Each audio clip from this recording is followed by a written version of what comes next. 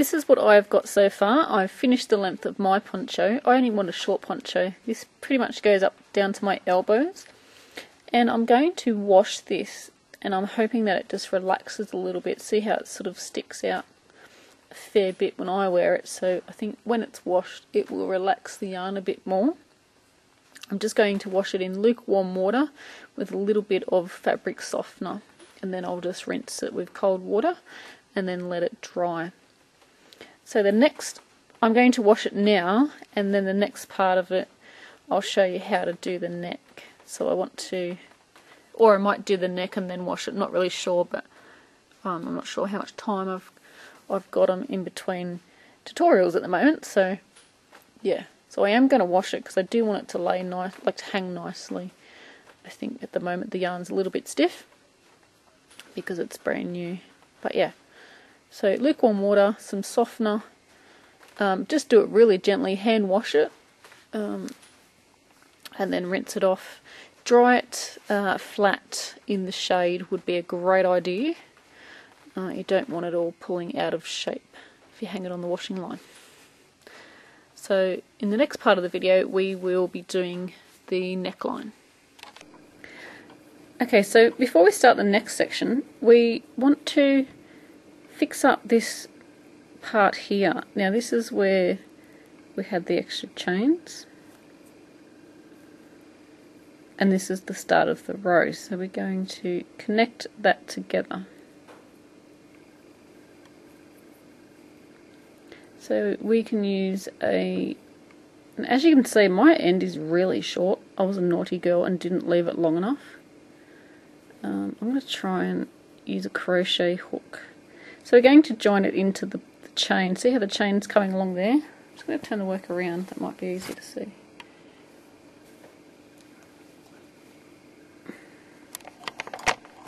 Hang on a second. So this is our chain that we worked into here and here. And we need to close up that gap and we need to join it so it looks like there's no gap. Because we're cheating, remember? This is the wrong size crochet hook, it's too big. But you can use a, sewing needle as well.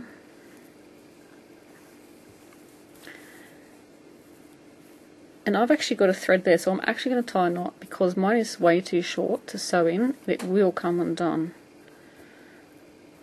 I don't normally tie knots into my projects.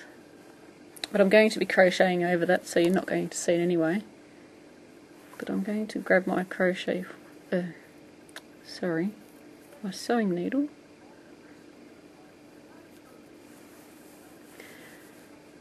And I'm just going to go through the chain. And I'm just going to sew this end. So this was my end where I should have been using, but it's too short, so I'm not going to sew that end in. I'm using this other one that I've got here. what it was is actually the end of where I um, changed colours. It's from up here when I changed colours. I've just sewn it down.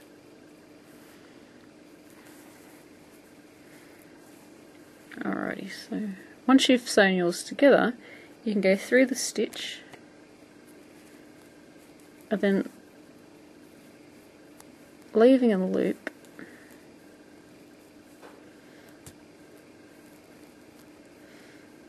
I've already got a really tiny one as you can see.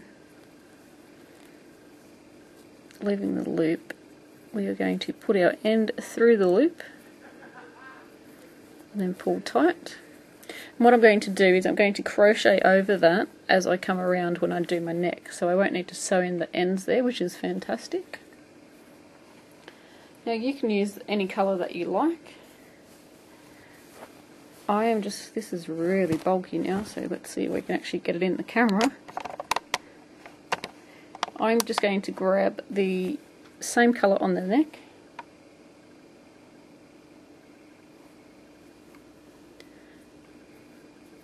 I'm actually going to join. I'm not going to join it where our threads are because I want to crochet over those. I'm going to go back a bit, so that's where a join is. I'm just going to go back a bit here. And I've got the good side of the, the um, poncho facing me, so it's it's right way out. It's um, If you're going to put it on, it's the right way out.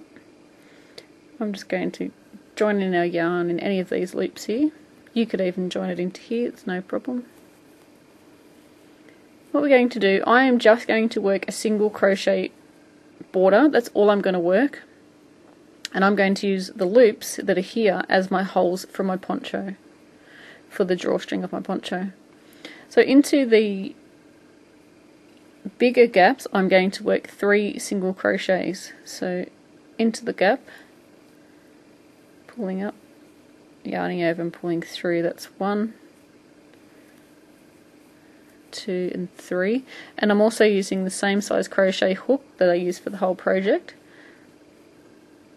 I'm going to work one single crochet into the stitch there. Into the biggest gap I'm going to work three single crochets.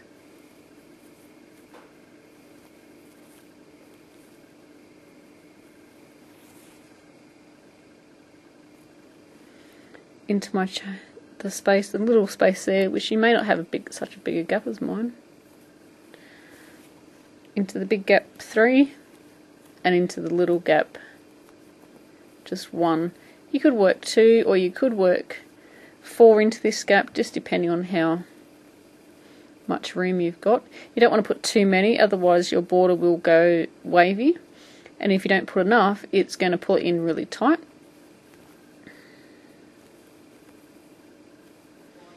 So I'm just going to work this all the way around.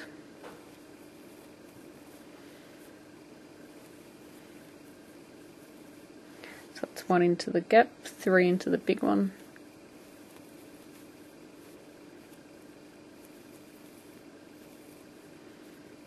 Okay, so I'm coming up to my threads that I need to work over. So I've got a gap there, go one into there. Sorry guys, this is really bulky and I'm trying to maneuver it. Not much space at all. So what's coming up next? We've just done our Yep, we've just done our little hole, so we've got to the big one there. So working three single crochets, I've laid the threads on top and I'm just working around them because they've laid on top there. When you work your single crochet, it just traps it which is really good. We don't really have to do anything with it as long as it's laying on top of the stitches there. So working three into there. And you're going to repeat this all the way around until we get back to the beginning of that row. I'm back to the beginning of the row and I just did a single crochet into the smaller gap and I'm going to join into the top of this stitch you can work as many rows as you like a single crochet. If you want to work another row, you're going to chain one and single crochet into that same stitch and then single crochet in every stitch around and then slip stitch to the top of that stitch there. But I'm only going to work one row. So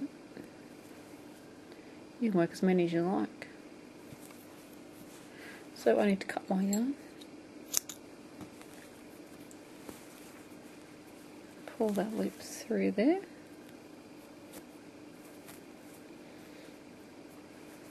And grab my yarn and my needle.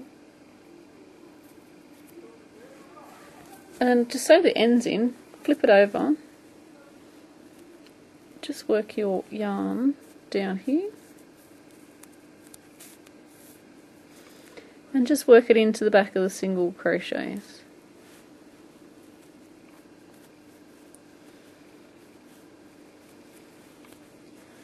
So thank you for watching my video, I really do appreciate it. If you would like to see more of my videos, as you're looking at the video underneath there'll be my username, bobwilson123. If you click on that username, that will take you straight to my channel. And you'll find all my videos there. And the easiest way to go through my videos is click on, uh, I think it says uploads, or it could say videos, and then once you're in the upload section, it will show you all of what I've put up, put up. There's plenty to look at. Sure, you'll find something else that you could make.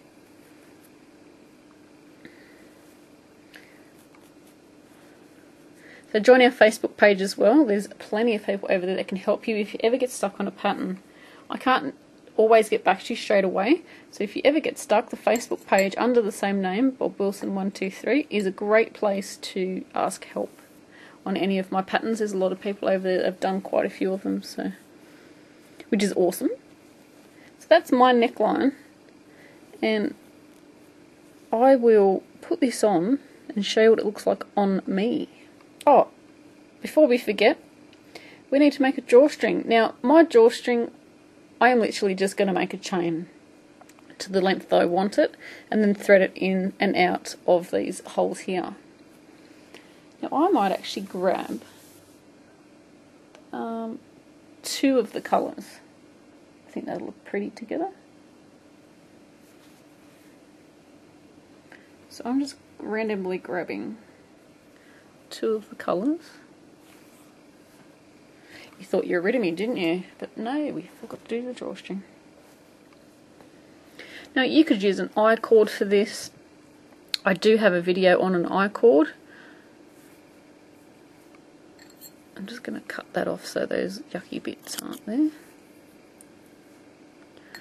could use an I cord, you could make a chain and single crochet back across. I'm just going to use two strands of yarn, that makes it a little bit thicker than just the one obviously. So just make your slip knot however you do yours. Been told many times I do it the long way, but I'm not really that worried because it works for me. And we're just literally going to make a chain stitch and you'll keep going until it's long enough. Now what I will be doing is making a chain that I think is long enough, not cutting off my yarn, threading it through my poncho with the yarn still attached to my chain to make sure it's the right size then I will cut my yarn you don't want to cut it too short or even too long as well. So I'm sure you know how to do a chain stitch and I will see you when we are ready to thread it through. With my yarn still attached to my chain, I'm going to get the other end. I'm going to get the neck and I'm going to choose to thread it through the big holes. So I'm going to go in and out of the big holes. So just as easy as that. You could skip a few holes if you like. You could go in and out of, if you can go in and out of those little holes, you could do it that way. You could use ribbon. Ribbon would look really pretty. But I tried to make my my projects all with yarn so that you don't have to go and buy anything else. But of course you can pretty it up as much as you like.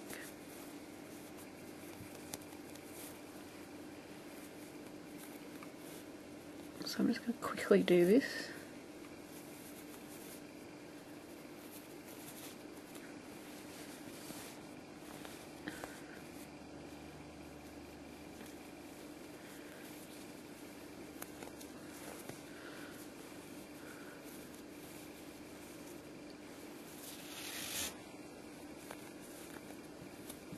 And then what you're going to do is you're going to try it on.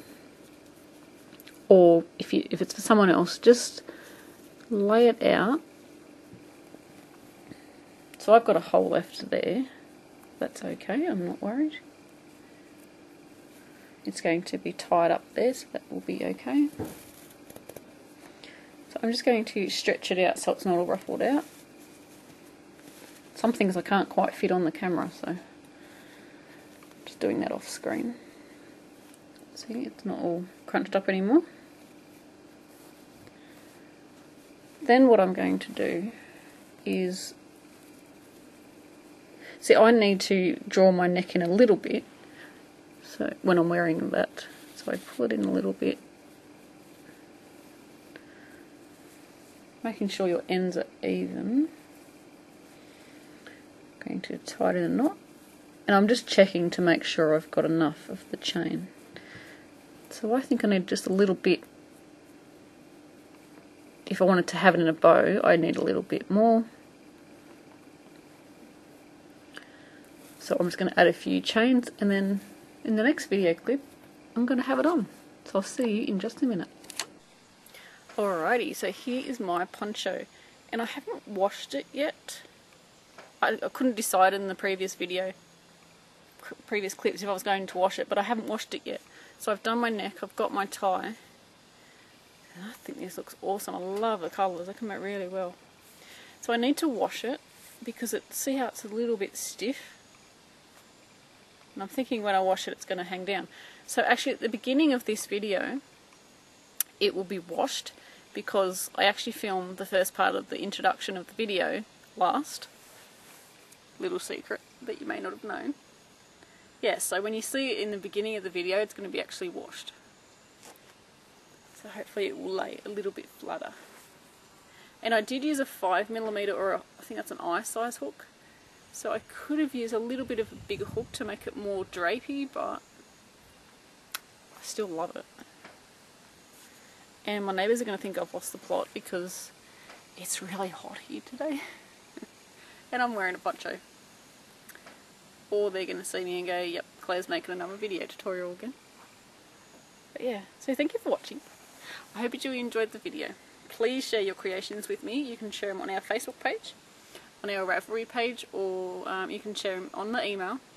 My email address is, is in the more info box below. So yeah, I'd love to see what colours that you use for yours. Thank you for watching and until next time, happy crochet!